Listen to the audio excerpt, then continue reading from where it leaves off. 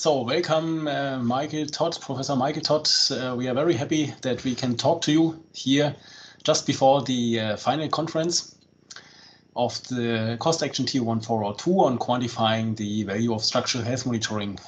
Um, maybe as start, can you uh, outline your uh, activities and action and how you somehow came uh, into this action? Yes, I appreciate the opportunity to to share with you uh, my interactions with you. Uh, I suppose uh, my my main action has been uh, deliberately collaborative over the last two years through knowing you, Sebastian. Uh, through we've met through the uh, Structural Health Monitoring Conference Network, and as a consequence, I was able to attend your Cost Action Summer workshop or academy this past summer in 2018 and, and deliver uh, a lecture on uh, how my research area in, in linking structural health monitoring to decision costs and uh, uh in a framework of Bayesian uh, uh, inference was related to some of the main themes of your cost action. And as a consequence of that that interaction, uh, we've we've grown that interaction. So uh, my, our activity has substantially increased. I think from that that starting point of uh, identifying some common themes in in where that we're working on, and that several of the groups on the cost action are working on. Um, so I can certainly talk more about those uh, as asked, but uh, that's that so far has been our, our primary uh, initial activity. And Mikey, of course, you knew the topic of the action before starting this collaboration, but uh, is there something new that you have learned uh, of the top about the topic or about the structure of the project? Uh, something that maybe you don't have in the United States uh, uh, and the, we have in the construction. I don't know if there yes. is something. Yes, I, I, think what I have learned is just how how sort of rigorously um, and uh, rigorously uh, uh, uh in in a terms of a framework, the action has developed a mechanism for quantifying the value of SHM. I have always thought, and I've even written, that the number one reason why structural health monitoring isn't done broadly in the entire world already because many of the technical developments that lead to the kinds of decisions we need to make have already been figured out. But the reason it's not been developed is that linking it to the business case and linking it to the operations case of why you'd want to invest and maintain a structural health monitoring network for a given application has never really been addressed. And it's industry has tried in limited ways in the US and Europe, I'm sure as well, to do this. But this is the first time I've ever seen a concerted academic industry effort to sort out a framework that is broadly applicable. It can be used by anyone and adapted to anyone within this context of decision theory, which is a, a well known but not so well known in, in engineering uh, framework for, for uh, making cost effective decisions. So I've learned a tremendous amount about that particular central aspect. And I suspect that if, if this cost action launches into new phases of industry collaboration, that it, it, it really has a good chance of becoming the default adopted framework.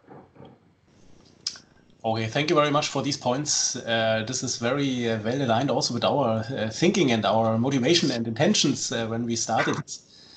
Um, uh, and towards the uh, network, uh, we have quite a, a, large network built in, in Europe, uh, and we had the chance within this project to spread out a little to to especially US, and we are very happy that you are one of the management committee observers. Um, that did this network we have been building up also um, influenced your network? Yes, it well, it, it has very clearly influenced my network.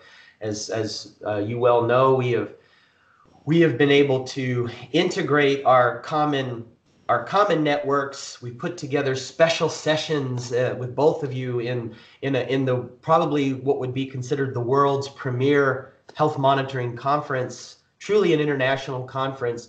So we uh, we are trying to make this topic a keynote uh, uh address for this important conference, and I think that by itself will continue to amplify the, the, the network as people realize what's being done and, and will sort of bring collaborators who are contributing to different aspects of this into the into the network.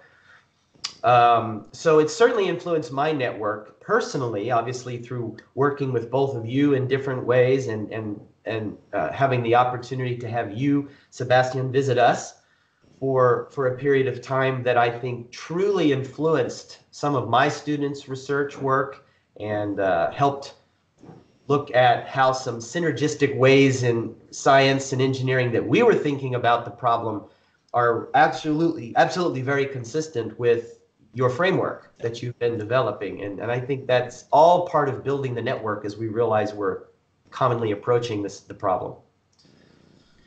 Uh, another point that uh, you partially touched already but maybe uh, you can uh, say something more. What do you think has been or will be the impact of the action for industry and for society as well, and how it can be maybe uh, increased in, in, the United States uh, uh, as far as you know?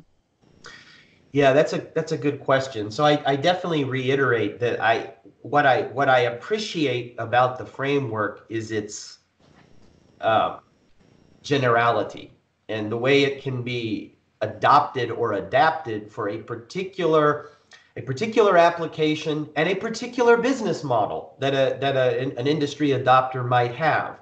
The, fr- the framework has these capabilities, and so that that that can really influence business uh, if they don't feel like they have to make tremendous change to how they do uh, their business now to do it to, to, to actually assess whether to invest in structural health monitoring if they can just adopt this um, uh, framework fit it to their controls and move on to make those assessments. Now I, I think one of the unfortunate things is that while there are certainly large scale collaborative efforts that might rival cost actions in America, there are none to my knowledge in this area and it would be certainly for the future of cost it would be uh, it would be very beneficial if there's a way that the EU and the funding sources that uh, uh, support this action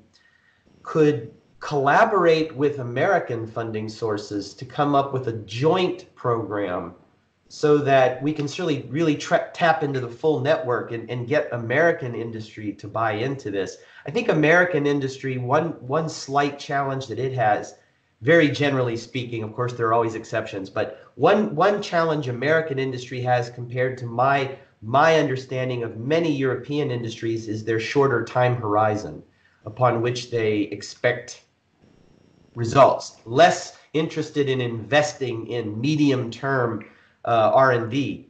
So in some sense, this cost action has already done the R&D. And I think American industry could be poised in the next phase to support token projects where, where we, the researchers, help them implement this framework into their business model. We just need the right mechanism between, I don't know if it's EU and American science and engineering funding agencies to, to, to figure out how to talk the right language to, to support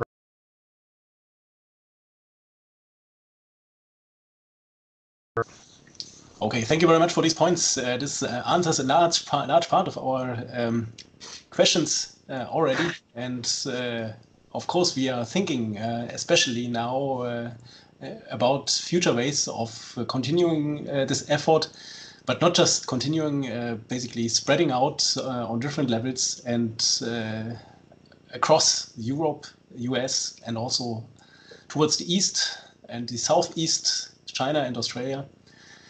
So in this sense, uh, we thank you very much for the interview. Um, we are extremely happy that you joined this action, that we could talk to you, and that we uh, can keep in touch, and we will keep in touch.